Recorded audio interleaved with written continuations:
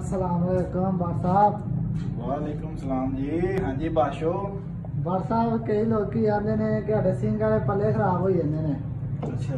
ਤੇ ਉਹਦੀ ਵਜ੍ਹਾ ਤੋਂ ਕਿਚਨ ਦਾ ਸਾਰਾ ਨਾ ਖੂਬਸੂਰਤ ਜਿਹੀ ਮਰ ਜਾਂਦੀ ਹੈ ਤੇ ਇਹਦੇ ਬਾਰੇ ਥੋੜਾ ਜਿਹਾ ਦੱਸੋ ਐਸਾ। ਕਿਚਨ ਬਣਾਵਾਂਗੇ ਵਾਟਰਪ੍ਰੂਫ ਕੰਮ ਹੋਏਗਾ। ਠੀਕ ਹੈ ਤੁਹਾਨੂੰ ਸੈਂਪਲ ਪਾਸ ਕਰਾ ਵੀ ਵਹਾ ਵੀ ਦਿੰਨੇ ਕਿ ਕੀ ਚੀਜ਼ ਅਸੀਂ ਬਣਾ ਰਹੇ ਆ ਇਹ ਦੋ ਪੱਲੇ।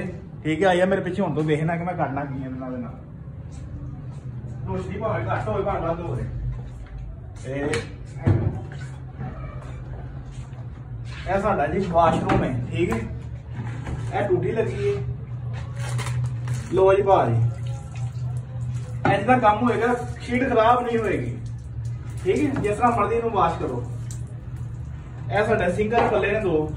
ਠੀਕ ਹੈ?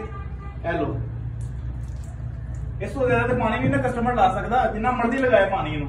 ਖਰਾਬ ਨਹੀਂ ਹੁੰਦਾ, ਅੱਲਾ ਦੇ ਹੁਕਮ ਦੇ ਨਾਲ। ਤੇ ਗੱਲ ਕਰਨ ਦਾ ਮਕਸਦ ਇਹ ਹੈ ਕਿ ਚੀਜ਼ਾਂ ਥੋੜੇ ਜਿਹੇ ਪੈਸੇ ਵੱਧ ਲੱਗ ਜਾਂਦੇ ਨੇ। ਪਰ ਚੀਜ਼ ਮਜ਼ਬੂਤ ਬਣ ਜਾਏਗੀ। ਠੀਕ ਹੈ? ਤੇ ਤੁਹਾਡੇ ਵਾਸਤੇ ਵੀ ਇਹੀ ਮਸ਼ਵਰਾ ਹੈ ਕਿ ਵਾਟਰਪ੍ਰੂਫ ਤੇ ਚੀਜ਼ਾਂ ਬਣਵਾਓ ਤੇ ਦੇਰ ਤੱਕ ਇਸਤੇਮਾਲ ਕਰੋ ਇਹਨਾਂ ਚੀਜ਼ਾਂ ਨੂੰ। ਬਾਕੀ ਸਾਡੇ ਵੀਡੀਓ ਨੂੰ ਤੁਸੀਂ ਪਸੰਦ ਕਰਦੇ ਹੋ ਸਾਰੇ ਬੰਦੇ ਲਾਈਕ ਕਰਦੇ ਹੋ ਸ਼ੇਅਰ ਕਰਦੇ ਹੋ। ਮਿਹਰਬਾਨੀ ਤੁਹਾਡੀ। ਬਾਕੀ ਲਵ ਯੂ ਹੋ ਗਿਆ ਸਾਰਿਆਂ ਨੂੰ।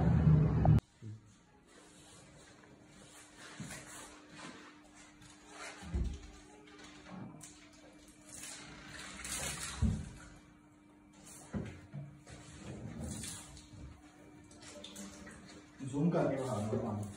老大爷，老大爷。